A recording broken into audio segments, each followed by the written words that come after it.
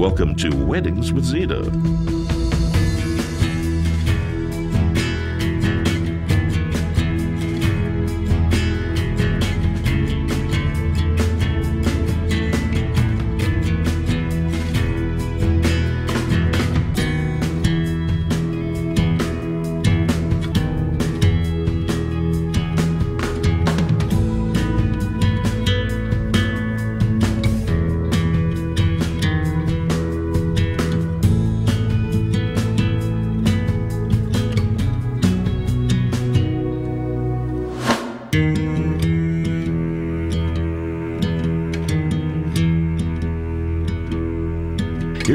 Host and producer, Zita Christian.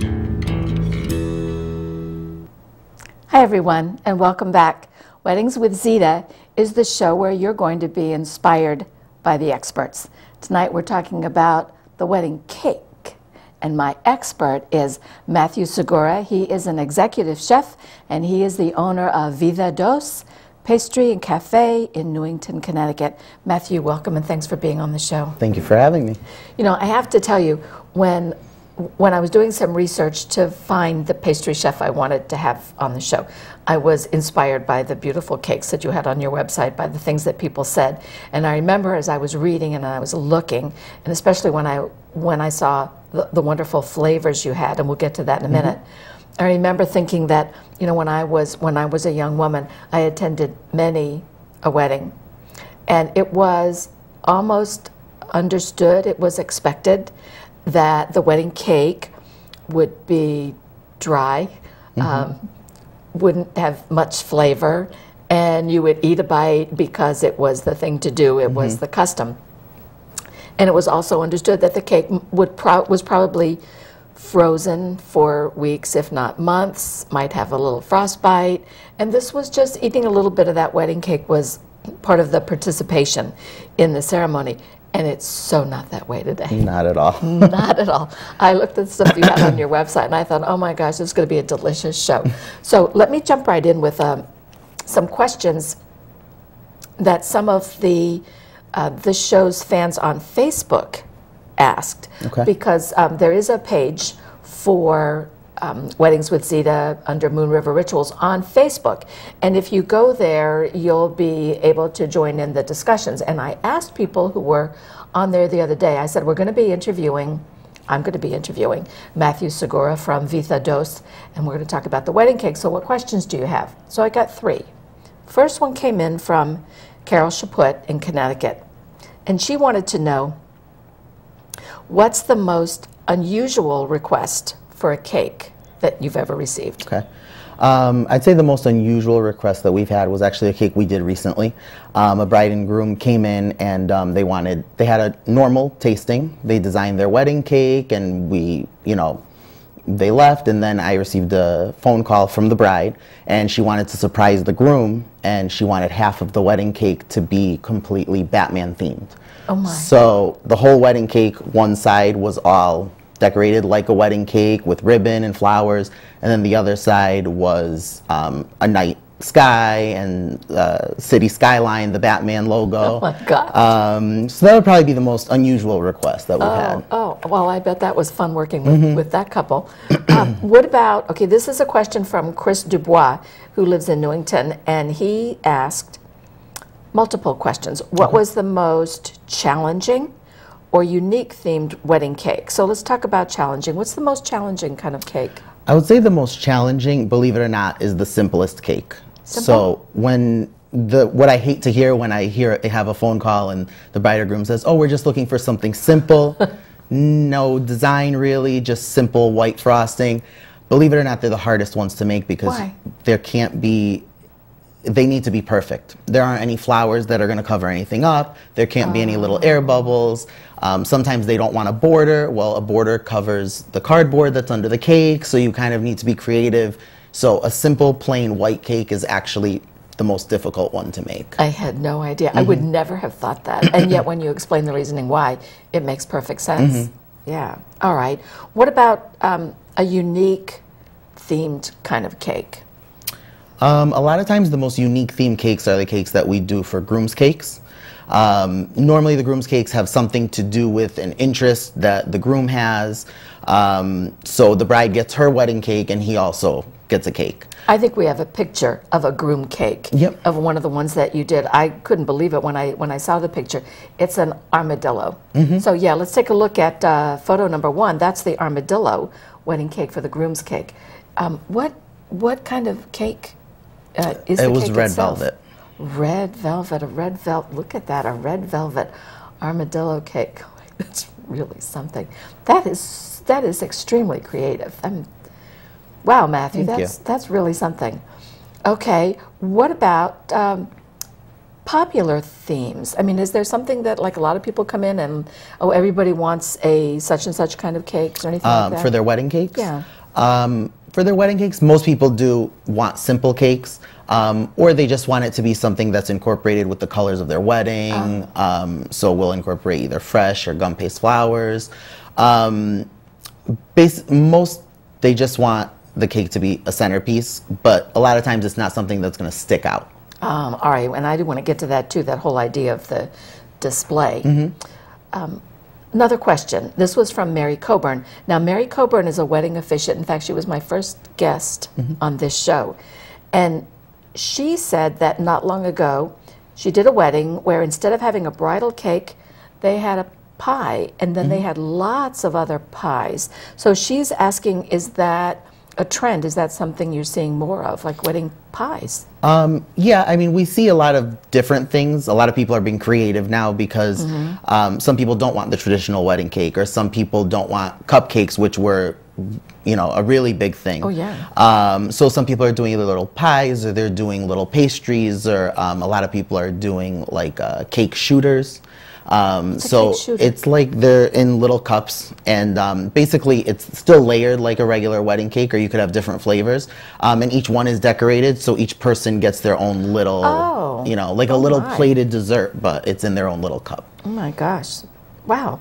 Um, do you think there'll ever be anything like, you know, like bridal brownies or Yeah, I think there's always there's always going to be something new. something? I like that idea.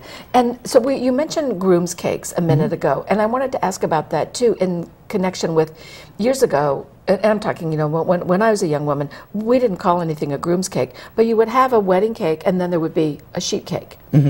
So are people now doing, are they still doing a wedding cake and a sheet cake? Well, that uh, sheet cakes really come into play when you're talking about budget, um, because a lot of a lot of people they have you know 200 or 300 people at their wedding, and the way that cakes are priced, they're priced per slice. So display cakes are priced at a different price per slice than sheet cakes are. Okay. So you might get a smaller display cake, and then the remaining guests would get you know cake from the sheet cake. And so everybody is still getting a delicious cake. Exactly. Ah, that makes a lot of sense. makes a lot of sense. Um, colors, you mentioned a minute ago, and I remember I used to always think wedding cakes were either going to be white or maybe a little bit of an ivory color. Mm-hmm. But there are all different kinds of colors of cakes now, and, and we're going to get to some of those in just a minute. But I wanted to get to something that I think is extremely important, and that's the ingredients. Mm-hmm. I notice, I, I looked at a lot of different websites, and many of them talk about having, making their cakes with the finest ingredients. Mm-hmm. What does that mean? I think the finest ingredients, well, it depends. And I think Yeah. as the bride and groom going into the consultation, you there's no reason you shouldn't ask what kind of ingredients they're using. Yeah. Um, because a lot of people use the finest ingredients, but you don't know necessarily what kind of fine ingredients they're using. So are they using real butter or are they using good quality shortening? Or are they using good quality real vanilla? Or are they using really good imitation vanilla? Or are they using really good cake mixes? Or are they making everything from scratch? So it's it, depending on whether it's something that's important to you, whether you want all natural. I think the better way to refer to using the finest quality is also all natural. So you would be talking about real butter and uh, real vanilla Exactly. Not, not a, And- an imitation. And Or in fresh your- eggs, in not your- powdered. Yep. Or in your fillings, if you're using like we do a lot of mousses or fruit mousses, you know, we cook down, we buy the berries, we cook them down, we puree them, but there are also a lot of, you know. You're um, not getting the the compounds. Ah. Exactly. There are cans that you can buy or compounds, but there are good quality, Yeah. you know, preserves and you know canned fruit that you can use. It's not that it's bad quality. It just depends on what's personally important to you. Right. Okay, Th- and that's a good thing to know. I, I don't know that I would have thought to ask that if I were, you know, getting married and shopping for Mm-hmm. um, a wedding cake. I would not have thought about that. Um, the ingredients that you use are they ingredients that are available to anyone when they walk into an average grocery store? Most of them, a lot of them are. Mm-hmm. Um, some of the purees that we use and things like that, um, uh, you can only get wholesale. Um, some of the flavorings that we use, um, but that's more because I'm personally particular. Um, and I do like to use the best ingredients that I can find. Oh, yeah, I know. So, so tell me about what do you do when somebody comes in and they have, and the, the couple says, we need a cake, but half of the guests uh, are gluten sensitive or gluten intolerant, or I have somebody who is allergic to uh, dairy or somebody who's allergic to nuts. So if you've got allergies, if you've got issues with diabetes, or if you've got gluten sensitivity or celiac, how do you address those issues? Uh, well, the celiac is a huge thing now. Yeah. Um, and I don't recommend doing the entire cake um, gluten free. Um, but sometimes it's the bride that has a gluten intolerance or the groom or someone specific at the wedding. So um, we'll make cupcakes for, you know, five or six people at the wedding that might have an intolerance. Or we'll make the topper for the bride and it'll, you know, it'll be gluten free.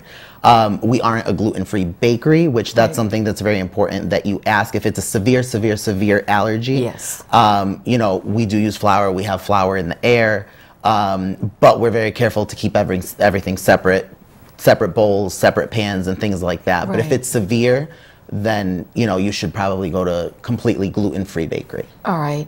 What about what about uh, uh, sugar? Is there any way to compensate for somebody who's got diabetes? Um, there is. Um, we do. We had a lot of requests with a lot of different dietary issues. Yeah. um, you know, we use um, honey because some people can't have artificial sugar. Um, So we use honey, or we use. Um, uh, for fillings, we use uh, coconut oil, um, just things, but it's always something, if we're not familiar with it, I always have them come in and try it just to make sure it's something they're okay with. You know what I mean? Yes, and I think the important thing though is that you're having the conversation with the couple and you're finding out if there is something specific so that you can work with them Exactly. to to address it. Um, you mentioned fillings here just a minute ago, Mm-hmm. and um, and you know cooking down the berries, and I do want to talk about fillings and frostings. I know that a lot of places have a difference between um, a regular filling and then there's a level of, of premium, and I Mm-hmm. know that you offer the two levels as well. What are the differences? Um, well, we like to have our price ranges, you know, so you can really get anything. If you d- aren't looking to spend a lot, if you are looking, you know, for, you know, mousses and fresh fruit and things like that, those would be the premium fillings. Um, and the not premium fillings are buttercreams. So they're buttercreams, you know, if it's a strawberry buttercream, we still use the strawberry puree, but we mix it into the buttercream that we make. Um, and we use a Swiss buttercream. Um, so it's just made with butter, egg whites, and sugar. So there's no shortening in it. There's nothing like that. So a lot of times people have an idea of what buttercream tastes like, and what a lot of people are familiar with is American. Uh, it's called American style buttercream, which is made with shortening and confectioner's sugar. So it's very sweet, and it leaves, um, you know, uh, An aftertaste. an aftertaste. Yeah. Um, so they're very, they're always surprised when they taste the buttercream because they don't expect it to be as light and flavorful as it is. Um, so whether it's premium or not, you're still going to get a really good quality, you know, tasty cake. So I'm getting another message that you work with people depending on what you you have options to offer. Exactly. I guess that's that's the thing. Um, let's see here. You have signature flavors. I wondered if you could mention a few of those and tell me how they're determined. Uh, well, the signature flavors are basically determined on what's the most popular, what we're seeing people are asking for the most. Um, and we do um, a strawberry shortcake, which people really like, especially in the summer. Um, it's a vanilla mascarpone mousse, and then we have a yellow sponge cake, and it's soaked with a ras- uh, strawberry puree. Oh, my. Um, it has fresh strawberries. Um, in the summer, people like lighter. Um, You know, they really like the mousse fillings in the summer because they're lighter, especially if you have a heavy meal. Um, and really, just the signature flavors are based on what people like. Well, I noticed one of the signature flavors was Reese's cupcake. Mm-hmm. There was one called s'mores. There was one called dreamsicles. Um, are they your favorites? Um, every this is gonna sound strange. Everything that I make, because a lot of people will come in and say, "Is that good? Is it not good?" If I don't, if I don't personally like it, I don't make it. So it, it's good. they're, they're, they're my favorites. They're, we only have so much space in our cases, and I put what I like the best out there, Oh, I and like what I think customers are gonna like Oh, I and like appreciate. That. I think that's I think that's a good way to go. Mm-hmm. Um, and we're going to get a picture of a buttercream one here in a minute because you mentioned the buttercream, and, and I wanted to get into a little bit about the frostings. So if we could look at, uh, I think it's photo number two. We're looking at one with with um, a buttercream. Yes. And this look that is just beautiful, and they've got a spray of of uh, little orchids Mm-hmm. there along with it. So that frosting. That's that buttercream you were talking about. That Yep. is that is light, and look how beautiful that that is. That's a gorgeous cake. Thank Matthew. you. Wow. Thank you. Um, now I have a question about. You mentioned the word marzipan. Mm-hmm. So tell me a little bit about marzipan, and then I'm going to ask you about fondant. So what's marzipan? Well, marzipan is almond based. So it's the base is almond paste, um, and you can use it to make decorations. You can cover cakes in it. Marzipan is mainly used in Europe, not so much here. Fondant is used more here to cover cakes. Okay. Um, and fondant, um, it's basically a sugar paste. Um, people love fondant or they say, oh, you know, it's not my favorite. I prefer buttercream. Um, a lot of times people really go with the fondant for the look of the cake. Let's look at photo number five because I know we have a picture here Mm-hmm. of a cake that has, excuse me, the um, the fondant on Yeah. it, and that is that is beautiful. Thank you. Um, and that has the draping on it, um, which there's also certain decorations that you need to take into consideration that uh, can only be done with fondant. So the Oh, draping and things like that wouldn't be able to be done on buttercream because it would pull down on the buttercream. The fondant makes it more stable. All right, now I have to tell you, I, I'm in a webinar program with um, Stephanie and Jeff Padavani. They, they created the, the company called Book More Brides. I'm taking a webinar with them now, and we were talking the other day about wedding cakes, and Jeff said something about the fondant and that it, it he referred to it as being very rubbery and he didn't understand how people ate it. And his wife stephanie said oh you're not supposed to eat it. It's just for decoration. You pull it off. So did he have like a, a not very good fondant or is it is it edible do people eat it do they take it off how does that work Um, it is edible. Um, I'm not sure what kind of fondant he had. Mm-hmm. Um, it also depends on the cake. If the cake's been sitting out, the fondant will develop a crust on it. Um, but the fondant that we use, it's a marshmallow-based fondant, so it actually is tasty. Um, you, uh, fondant can also be flavored. So if you have a specific flavor that you want, um, you know, that would go well with your cake. Um, but it is edible. People do eat it. Um, it is very sugary, so people do love it or they don't love it. Yeah. Um, but no matter what, if you want the look of the fondant, the whole cake is covered in buttercream underneath, anyways. So it's all Oh. frosted and then it's covered in fondant on top of the buttercream. So a lot of people come in saying, "Oh, you know, I don't really, I prefer buttercream to fondant." You're still going to be getting the buttercream, but you'll you will have the look that you're looking for with the fondant. Oh, nice. I had no idea. Well, I have to be sure to tell Jeff and Stephanie that he just needs to try your fondant. um, tastings. I know that a lot of the, the, the pastry shops, they offer couples the opportunity to come in and have a tasting. So when couples come in, they're, they're trying samples, right? Is that the idea? Yep. Do you ever have do you ever have couples who fake a wedding just so they can come in and sit down for an hour or so and taste cakes? Um, we have. Have? Um, not many. Okay. Um, I also am not sure if they were faking the wedding, but we have had couples come in um, using different names. It happens to be the same couple, Oh. um, and they'll come in a few times. Um, you know, we run into a lot of different things. Well, what goes on at a tasting? Tell me how that works. Um, the way we do our tastings, we keep everything separate so you can mix and match your flavors. Um, and you're able to pick three different kinds of cake to try and three different kinds of fillings to try. So, like for the different kinds of cakes, such Mm-hmm. as. So you could do, you know, simple chocolate, vanilla. Um, a lot of people do red velvet. Um, or we have different cakes. We can do um, carrot or apple or Oh, vanilla see. bean. So, Okay. um, so you know, when we bring out the plate, there's the cake separate from the filling. So then you can mix and match, and then you can decide maybe if people wanted to go with a marble cake, we could do layers of vanilla and chocolate. They could do two different kinds of fillings, and they could kind of mix and match and see what works for them. Oh my, oh my goodness. Well, I could see why somebody might want to come back more than once. Um, how far in advance should a couple order their cake? Um, for a wedding cake, we normally recommend six months to a year in advance. We find that people are booking or looking for their vendors for their wedding a lot earlier. Um, so, I mean, it's what I recommend. If someone comes in, you know, a month before and we have that date available, then I won't turn them away. Right. Um, but if they come in a month before or two months before and I don't have that available, you know, I I don't want them to be angry with me, but there's only a certain amount of um, wedding cakes that we do per weekend. I understand. Um, I just have to ask you, when you were growing up, did people in your family bake? I mean, did, were you surrounded by the, the fragrance of the cakes, the muffins, the bread, and all that stuff? They coming out of did the well, oven? more br- more bread. Well, my grand grandmothers on both sides baked um, Yeah. bread, and my mom baked. Um, but just food in general was a big part of, you know, it was a big part of our life, and it was just associated with happy times and parties and family times. So I think that's what made me want to go into this field. I enjoy making people happy and seeing their Yeah. face when we deliver the cakes or they pick them up. So, Matthew, I have to ask when you do have any kind of family gathering, or you're, or you're going to some potluck dinner Mm-hmm. or something like at a school event or something like that, are you always expected to bring the dessert? Yes, always. Is that, are you okay with that? I'm fine with it. I'm fine with it. I'm fine yeah. with it. Um, yeah, we have some more pictures that I want to show.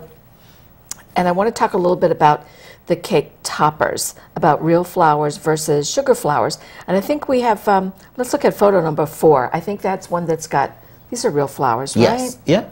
Okay. And, um, and let's take a look also, photo number seven also I think has real flowers. Those are the sugar flowers, the Those, gum those are the sugar flowers. Okay, the sugar ones. So those are all made by hand. yes. And I know that uh, you actually brought in a little spray of sugar flowers, a little spray of sugar flowers that you actually handmade. I think we've got them over here on the side.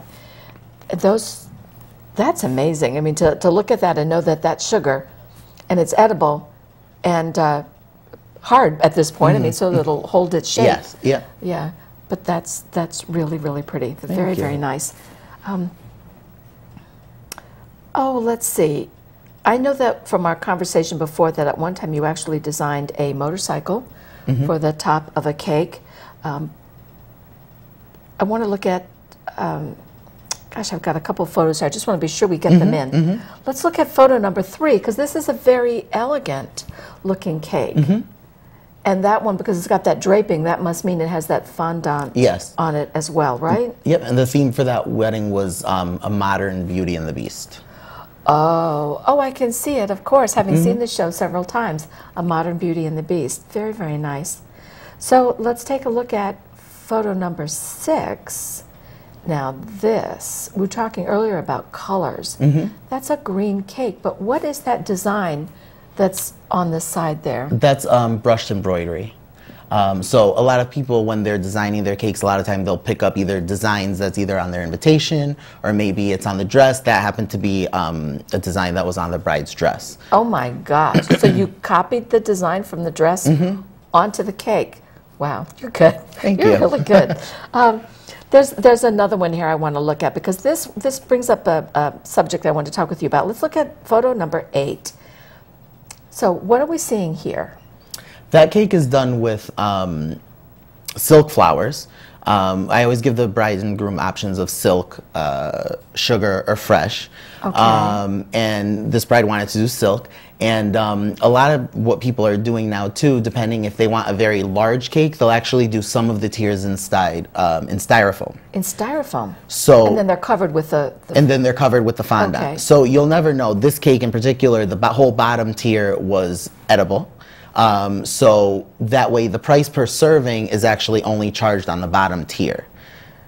And then the rest of the cake is charged based on labor and uh, material that we use. So that's a way then for a couple to to save. I mean, if they're looking, if they're working with a budget, exactly. they could still have a pretty display cake, Mm-hmm. but it doesn't all necessarily have to be edible. Exactly. And we do that a lot for Oh, people who are having a small wedding, but they want a large cake, but they don't need that many servings. All right. Now we we are a um, a public access show, so we can't talk specifically about price, but you can give me a range. Mm-hmm. When somebody comes in and they say, "I've got 50 people for the wedding," or "I've got you know 300 people for the wedding," Mm-hmm. how are things priced Uh, cakes, they're all priced per serving.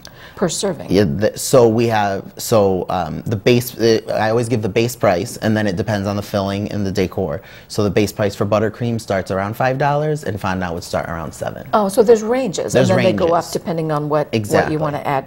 That's really good to know. And then depending on if they want all the layers to be actual cake, or if they want real flowers, silk flowers, Exactly. or the um, the sugar flowers, Mm-hmm. all of that factors in. So there's ways that you can. There are a lot of ways to save. There are a lot of ways to save that is and so still good to get the look that you're going for. Yeah.